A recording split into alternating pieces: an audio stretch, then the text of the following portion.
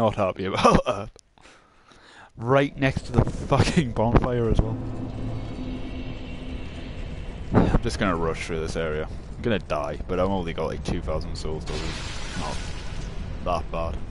Look, it's just up there. Fucking bonfire. And he misses! He misses!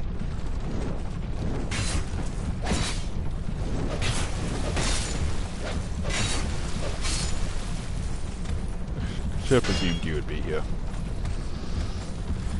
Well, since I... uh, I'm not going to be able to rush through.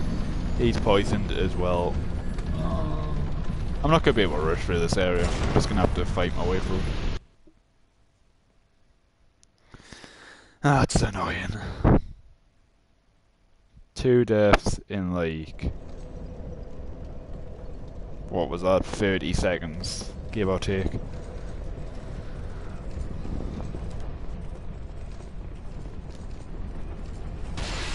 I'm just thinking we'll be able to leave this session on like some quite uh, some decent lore, which is good.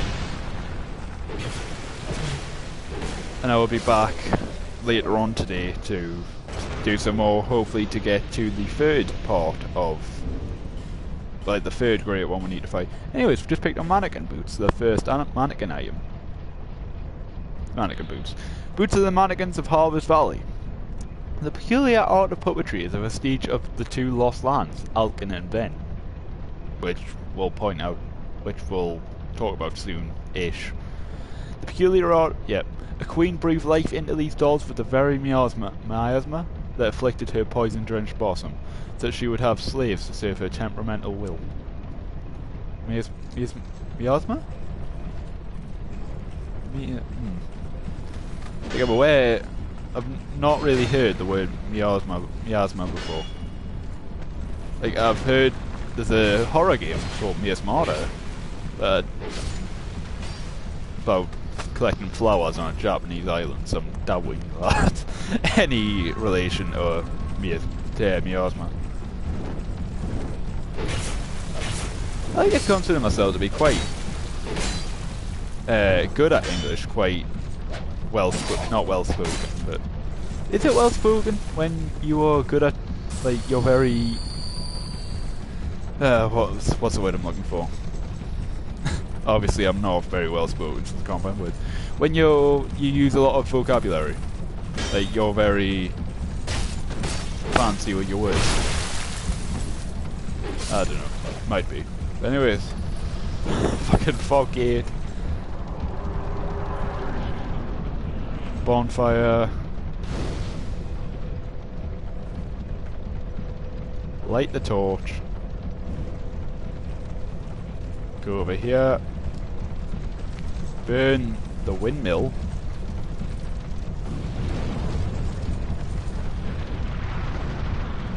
Does it stay on fire? That'd be cool if it stayed on fire. Like a fiery windmill.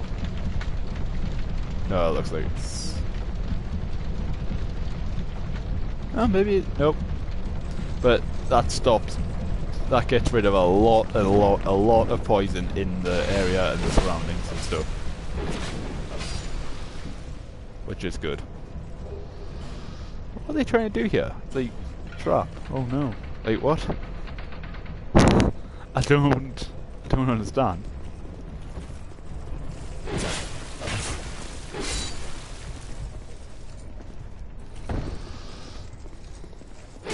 we can get out of here.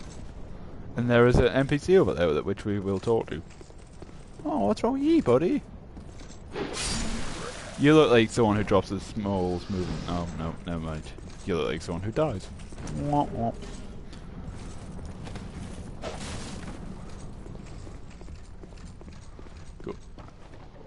I'll explore this a little bit later.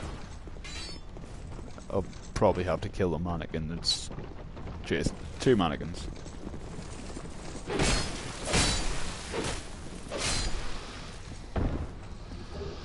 Poison throwing knife and Right, let's go talk to this NPC who is it's my second favourite Vine Crane.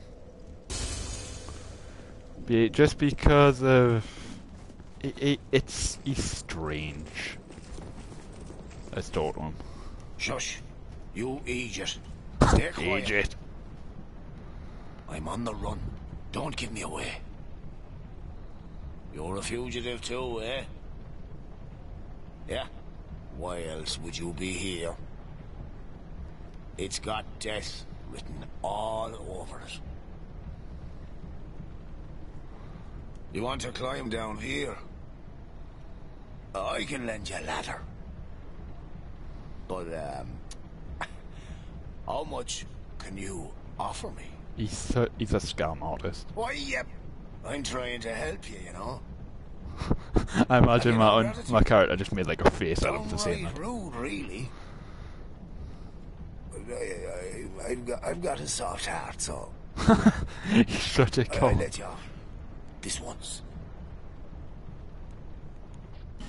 All right.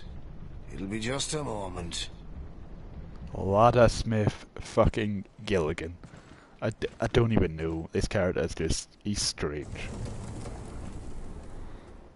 Just. he just carries the ladder around. I, I don't get it. Ah, go on ahead. I won't offer this deal twice. Because he moves back Majula. Oh. Have you heard? Well, apparently, there's this monster lady, right? Spoilers. And the poison, well, does wonders for her body. Body. You know, uh, health and beauty and that sort of stuff. and I thought only human women were so petty. Implying that he's someone else, maybe. That creature, she was human once, you know? In fact, she was wed to the prince of that nearby castle. But her husband? We'll get on know that. Uh, he had feelings for another. The princess was desperate and sought eternal beauty. Hoping that it would restore the prince's uh, affection. you see what I mean? oh, you see what I mean. Um, the prince that he is on about, we will go into much later on when we go back to the Belfry Luna. It's a mini lore section that I'll talk about. Before long, the princess's ire transformed her into a monster. Now, listen here. When do you think this all happened? Long ago, when this very land was called something else. Now, We say Drangleic now, but mm, countless kingdoms have risen and fallen on this very spot. And this won't be the last. Oh no. even though he goes on to be like, oh yeah, hint hint, Lordran, hint hint, he's actually talking about Alkin and Venn. But then we'll, again, we'll talk about that later because it's to do with the Belfry Luna. That damned hag just can't let her old flame go. She's going to get us all burned. Now this dialogue is completely out of nowhere. and I'm really not sure what he's on about. I'm thinking he's on about the Lost Sinner, but it seems really weird that he would mention it. I've never really understood that line. God almighty. I'm not going to die in this dump. God, I... Find it? Like that that old hag calling that uh, that hag on that rope whatever hag flame is gonna get us all burned. I'm really not sure like what the implication of that is. That line. Like if he's on about the Lost Sinner, maybe like the Emerald Herald? Or like it's strange. It really is. Anyways, we'll see Gilligan a little later on. God, I'm not... Find it? Maybe sooner than we think. Depending on which uh, direction for the boss I decide to go. I'll have to look that up actually, but it'll be after this session anyway, so I've got time to plan out my route. Yes, this play is in Portland. Doing things in a certain order, going back to things at certain points, that sort of deal. Just because it's Dark Souls, you can you can do things there. Also, Guess who it is? It's Pate. This is the one that we saw off screen, and the one Creighton tells us not to trust. Someone just died. We went through a lot together. Take this as a token of our friendship. He gives you his entire set and the Ring of Thorns. That is the ring that um, Creighton was on about. Don't be shy. They were meant for you. See, that just screams of bullshit, but like, Well, we meet again. There's treasure this way, but I have a bad feeling about it. I don't quite have the guts myself. well, there's. I don't quite have. like there, he he's telling us to go into danger, but he's warning us of the danger. People compare him to Patches, but then with Patches, he's like, "Oh yeah, there's treasure there, but then I'm gonna strip it off your corpse." Well, once he jumped down, he's like, "Ha, I'm gonna strip it off your corpse." But this, but Pate is straight up telling us, you know, there's danger. You know, I don't be careful.